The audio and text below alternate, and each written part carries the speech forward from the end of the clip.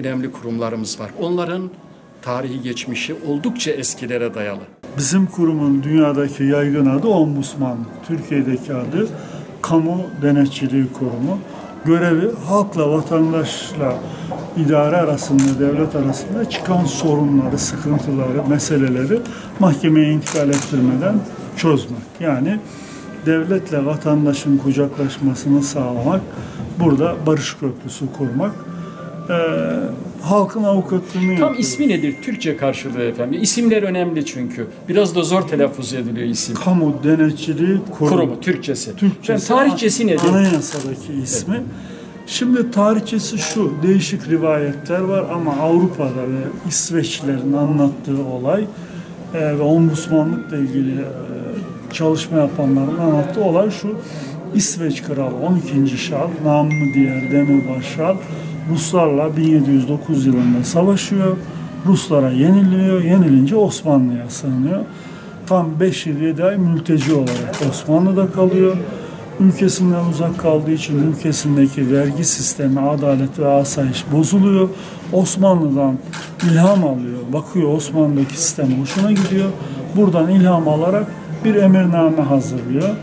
İsveç'e gönderiyor ama kendisi burada işte bu emirnameyi uygulasın, kral adına uygulasın diye görevlendirdiği kişi ombudsman diyor.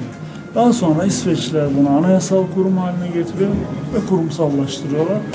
Biz de Avrupa Birliği müktesebatı altında kendi kaybettiğimizi 300, se- 300 yıl sonra bulmuş olduk. Efendim bir hikayesi var onun. Çok etkilendik. Bugün Kocaeli'de çok önemli bir bilgilendirme toplantısı vardı. O hikayeyi sizden Demirbaş Şal mahiyetiyle beraber Osmanlı'ya sığınıyor. Kendisi de müsrif bir kral.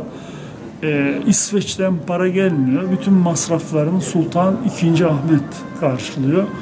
Ama Osmanlı'nın kayıtları o kadar titiz ki kral sabah kahvaltısında ne yemiş, günlük olarak kaç tane yumurta yemiş, ne kadar bal yemiş, öğlende ne kadar et yemiş. Bunlar teker teker yazılı ve karşılığına da fiyatlandırmalar var. Bu tabi kayıtlar İstanbul'a gidiyor. Bunların devlet muhasebesine, kayıtlarına geçmesi gerekiyor. Ama harcamalar hangi kalemden yapılacak? Biliyorsunuz devlette harcamaların kalemleri Evet. var. E, Bunu böyle bir krala ait bir, bir kalem yok. Bunun üzerine dönemin uyanık bürokratlarından biri padişaha teklifte bulunuyor. Diyor ki efendim bunu harcamaları yazacağımız kalem yok ama yazmamız gerekir. Göstereceğiz bunu. En iyisi bunu Osmanlı'nın demirbaş eşya defterlerinden birine kaydedelim. Bu bizim malımız olsun. Harcamaları oradan düşelim. Dolayısıyla 12. Şarl'ın bizdeki adı da Demirbaş Şarl oluyor. Son olarak şu çok önemli. Ee, bir hikayesi de var bunun. Türkiye Avrupa Birliği müktesebatları çerçevesinde bu çalışmaya girerken İsveç'e gidiyor ve dönemin Adalet Bakanı Sayın Hikmet Sami Türk var. Bu hikayeyi Evet. sizin ağzınızdan. Şöyle, yani e, bizde teorik olarak e, 1970'lerden beri e, ombudsmanlık konuşuluyor, tartışılıyor. Hatta 1982 Anayasasına konmak için de çaba sarf ediliyor. Fakat e, konulmuyor. Daha sonraki dönemlerde e, akademik çalışmaların yanı sıra uygulamaya konmak istiyor. Bunun menşei menbaı İsveç'te, İsveç'e, İsveç'e gidiyorlar. İsveç'e gidildiğinde İsveçler bu anlattığım olayı, tarihi Siz- e, vakayı anlatıyorlar. Ben de o arkadaşlardan dinledim. Dinle. Efendim çok teşekkür Ben- ediyoruz. Olun. Sayın Başkanımıza teşekkür ediyoruz. Kocaeli'de çok önemli bir toplantı yaptı kurumumuz. Belgesel görüntülerle Kocaeli'deki toplantıyı birlikte takip ediyoruz.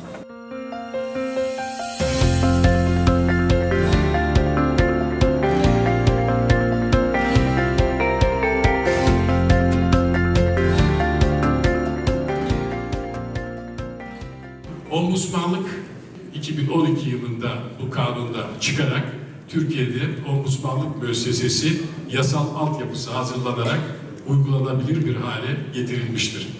Vatandaş devletin ilgili kamu kurumlarının iş ve işlemlerinden dolayı haksızlığa uğradığını düşünerek yargıya başvurabilir. Bu bugün de geçerli ve uygulanan bir yöntemdir.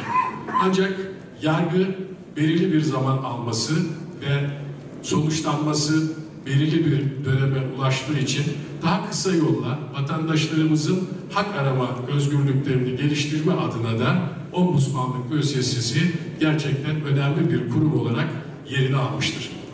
Valilerimiz, belediye başkanlarımız, diğer yöneticilerimizle bu titiz bir şekilde uygularsak ve bu kurumlarla, bizim gibi kurumlarla dayanışma artarsa idarecilerimizde hukukun üstünlüğünü yerleştirirsek insanımızda, vatandaşımızda da hak arama kültürünü yaygınlaştırırsak çok kısa bir süre içerisinde önemli mesafeler alacağımıza inanıyorum. Ben e, yapılan iş bölümü çerçevesinde eğitim, öğretim, gençlik, spor, kültür, sanat, ticaret, turizm alanlarında gelen şikayetleri incelemekteyim. Ulaştırma Bakanlığı'nda en son Sosyal Güvenlik Kurumu'ndaki idarecilik görevimden sonra 2016 yılında Türkiye Büyük Meclisi tarafından kamu deneyimcisi olarak seçilip göreve başladım. Ee, Benim de Sayın Başkanımızın yaptığı iş bölümü çerçevesinde insan hakları, kadın hakları, çocuk hakları e, ve çalışma ve sosyal güvenlik alanına ilişkin başvuruları değerlendirmekteyim. Dört dönem Şanlıurfa Milletvekili olarak siyasi hayatımız oldu 16 yıl. Daha sonra da arkadaşlarla beraber e, bu göreve geldik. Sağlık Bakanlığı, Tarım Orman gibi alanlarda vatandaşlarımızın yapmış olduğu şikayetlerle ilgili olan e, konuları inceleyip karara bağlamaya çalışıyoruz. İzmitliyim. Yani Yuvacıklıyım. Ee, ilk orta ve e, lise tahsilimi İzmit'te tamamladım. 1986 İstanbul Üniversitesi Hukuk Fakültesi mezunuyum. Ben mesleğime mülki idare amiri olarak başladım. 87 yılında Zonguldak Kaymakam adayı olarak göreve başladım. Türkiye'nin tüm coğrafi bölgelerinde kaymakamlık ve vali yardımcılığı yaptım. En son e, yaklaşık 8 yıl parlamento genel sekreterliğinde bulundum. Ve 2 yıl önce de e, ilgili komisyon tarafından kamu denetçisi olarak seçilerek göreve başladım. Benim görev alanım kamu personel rejimine ilişkin itirafları sonuçlandırmak, idare ile e, o idarede çalışan e, kamu görevlilerinin itiraflarını sonuçlandırmaktır.